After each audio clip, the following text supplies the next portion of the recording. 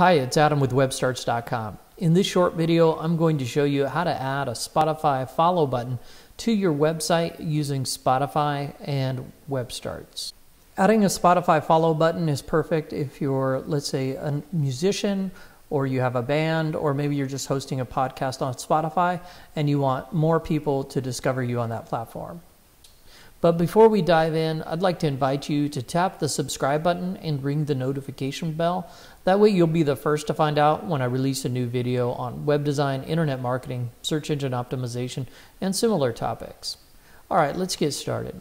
So the first thing that you're going to need to do is create a webstarts.com account. If you haven't already done that, move on over to webstarts.com just like I have here, and click on the Get Started It's Free button. WebStarts is everything you need to create your very own free website, blog, or online store.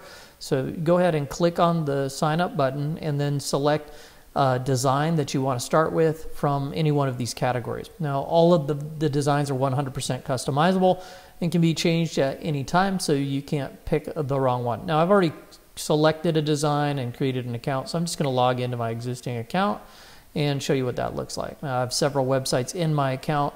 You're probably only going to have one, at least when you start out. So you'll be looking at what we call the dashboard. That's this view here. You can enter the page editor. That's where you're going to be making edits and changes to your pages by hovering over the thumbnail to your website and then clicking Edit Site.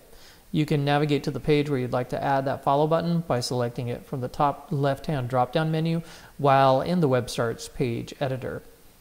All right, now it's time to move on over to Spotify.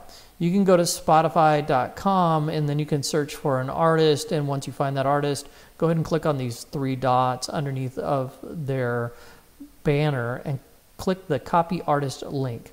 From there, what you're going to want to do is you're going to want to go back to Spotify.com, just like this here, and you're going to want to scroll all the way to the bottom of the page, click on Developers, and then go to Docs, and then go to Widgets, and click on Generate. That's going to give you access to a couple of uh, uh, places you could generate widgets. I'm going to select the follow button because that's what we're doing. And then it's here that you're going to paste the artist um, URL. Now, this is perfect if you have a podcast on Spotify or if you're a band or if you're a musician and you want to share your music. So, those are some of the use cases that you may not have thought of. Now, there are some other things that you can do here. You can customize your layout and that kind of stuff. Once you're ready, go ahead and just select the code that's provided and then right click and click copy. Move back on over to your WebStarts page editor, click on the insert tab, HTML code, agree that you understand that you're inserting HTML code, then right click and just paste that code into the field provided and click OK.